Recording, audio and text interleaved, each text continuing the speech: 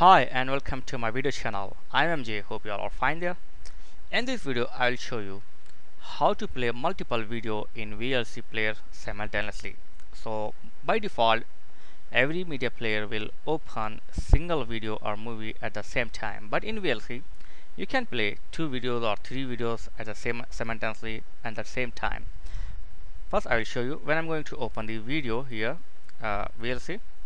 The video is open now but if you I, if you, I want to open the next video in the VLC player it will remove the previous video and overload the last video. Look at that. Hey guys, welcome back again. I'm MJ. so but I want to these two video open simultaneously. So for this open the VLC player.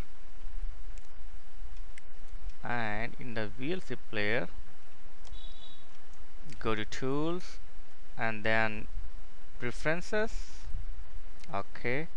Now uncheck this. Uncheck this option like use only one instead when it started from manager. Uncheck. Okay. And save. And now let's see what happened. So I'm going to open this one. Okay. One video is open now. Uh, it's playing. Okay fine. And I'm going to open one more okay. Hey guys, welcome back again. so you can watch two videos or see two videos with audio. Uh, side by side as you- as you can see here. So right now I'm playing two video on the VLC simultaneously. So it's the best option to view two video at the same time in VLC player.